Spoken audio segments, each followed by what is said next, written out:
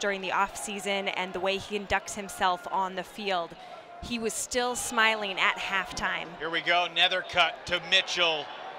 Wow.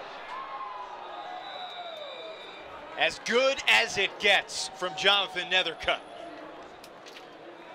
Terrence Mitchell was running so fast, he was catching bugs in his eye like a car speeding down the highway at 60 miles an hour, smashing him on the windshield. I wouldn't want to be one of those bugs. No, sir. Two weeks ago, Terrence Mitchell missed the game. It was his first game absent in Flyers history. He's back tonight.